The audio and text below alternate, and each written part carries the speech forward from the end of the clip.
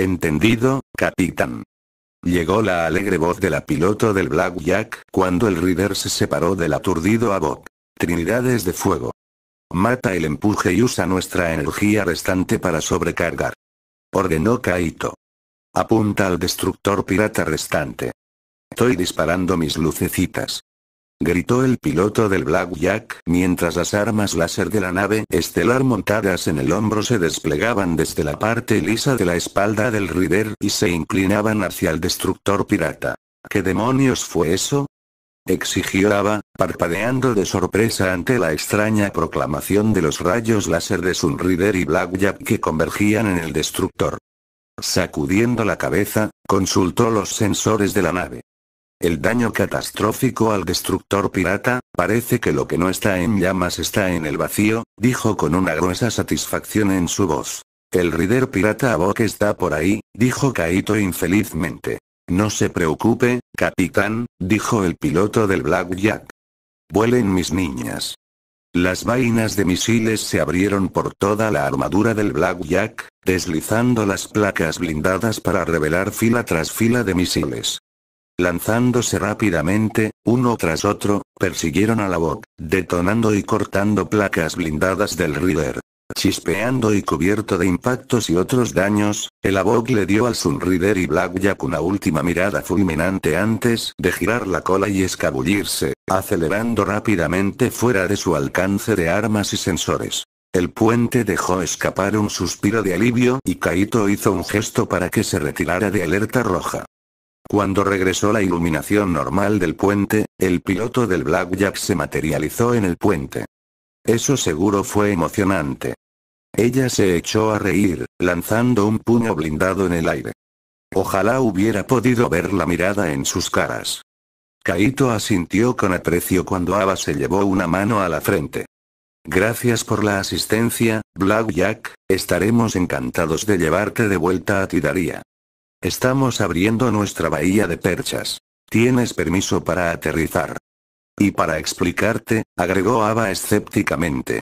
Entendido, subiendo a bordo. Dijo el piloto felizmente mientras cortaba las comunicaciones. En la pantalla principal, los motores del Blackjack se encendieron y el Reader bajó, dirigiéndose hacia la entrada de la bahía de la Percha 01, mientras el Sunrider dejaba caer el puerto blindado con cicatrices hacia el tubo de acoplamiento, iluminándose para guiar el acercamiento del muelle del Reader.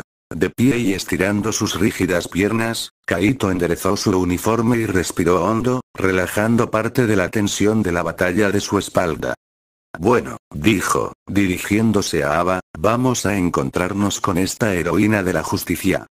Entendido, capitán, respondió Ava, sacando la pequeña pistola en su cadera y comprobando el cartucho y la cámara antes de devolverlo, sin peligro, a la funda.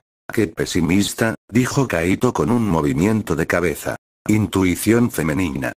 La percha Rider del Sunrider ocupó el espacio contiguo más grande dentro del barco, y también sirvió como un depósito para la atmósfera cuando varias otras partes del barco requirieron una presurización de emergencia.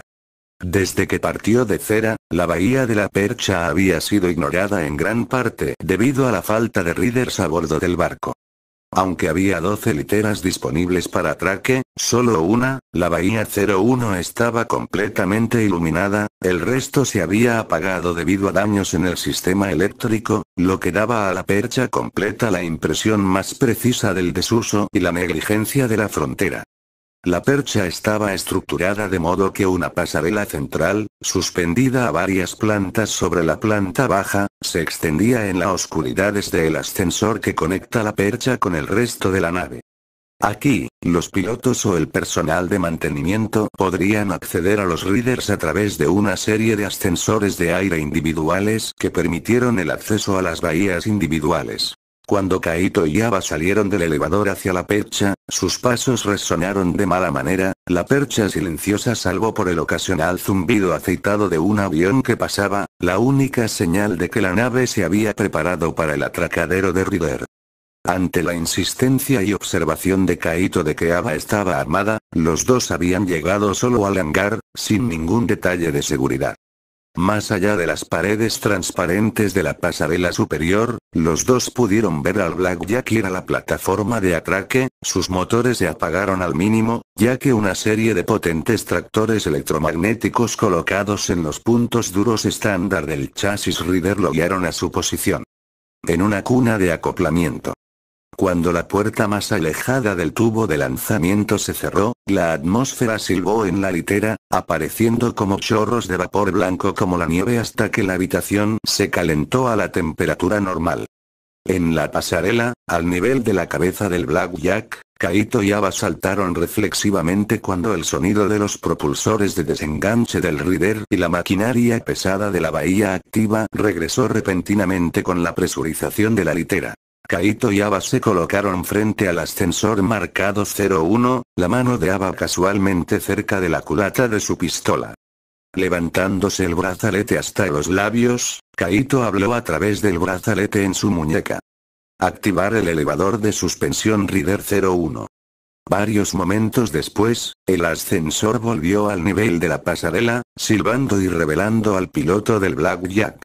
Vestida con el traje rojo Rider con armadura en el que había aparecido antes, la piloto se bajó del elevador, sus botas magnéticas blindadas tintinearon suavemente mientras caminaba, haciendo que el peso adicional del traje fuera evidente como los hologramas nunca pudieron. Inclinada con el pelo rojo corto y los brillantes ojos verdes, la expresión joven y curiosa de la piloto le dio un aire de inmadurez, totalmente en desacuerdo con la habilidad de pilotaje que había demostrado contra los piratas. Eso es lo suficientemente cerca, piloto, dijo Ava firmemente antes de que Kaito pudiera abrir la boca. Pon tus manos en el aire para un chequeo de armas. La mandíbula de la piloto prácticamente se cayó al suelo. ¿En serio? Vamos, señora, les hice una prueba sólida. ¿Por qué tengo que buscarme a tientas? Ese señora? Farfullaba, volviéndose roja, somos casi de la misma edad. Escucha, Kaito levantó la voz y las manos antes de que la situación se saliera de control. Ava, ella tiene razón, si nos quisiera muertos, ella habría ayudado a los piratas. Tal vez podríamos dejarla en paz esta vez.